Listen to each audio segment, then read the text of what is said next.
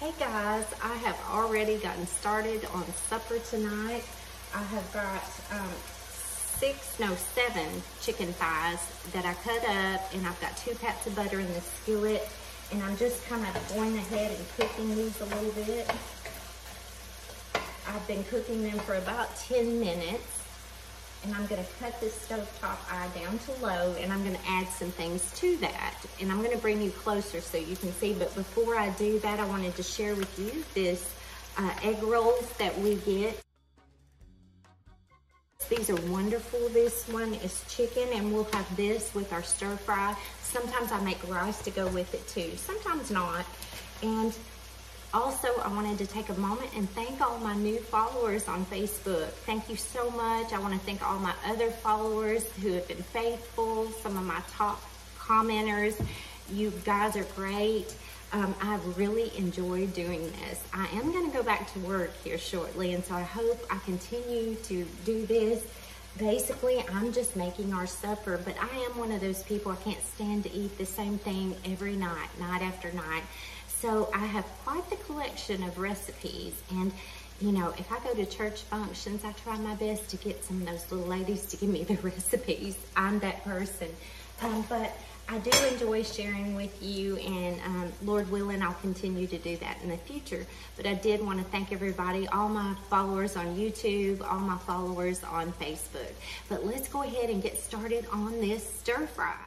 Again, you will cook your chicken thighs in a couple of pats of butter for about 15 minutes before you add this teriyaki stir fry sauce.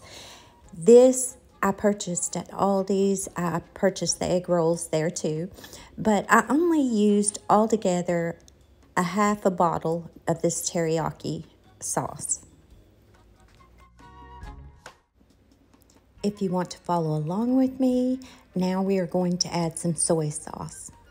This is just a guesstimation, but by the time I finish with this, I believe I added around one third cup of soy sauce.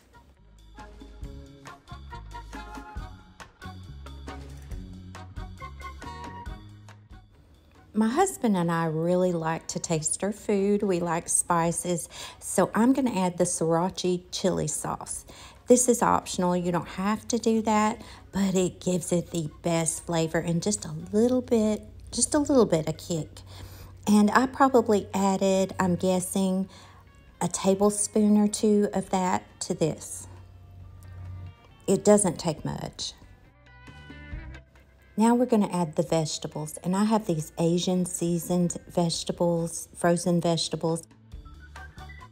I added two 12 ounce packs. So that's three cups of vegetables. Let's give this a stir and then we are going to put the lid on this and let those vegetables steam for about 15 minutes on low heat. These vegetables are frozen, so they are going to add more moisture to your sauce. You will want to make sure to stir this maybe every five minutes or so. Doesn't that look yummy? And it is. It's really good. And if you don't like teriyaki, you can always use a different stir fry sauce. Or you can also use the sriracha and soy sauce. You could do that too. But I'm gonna pop these into my air fryer and we're gonna have supper. And I don't think I'm even gonna make rice tonight, but you can have rice with this. It's so delicious. Um, I hope you guys enjoyed that and I hope you have a great evening.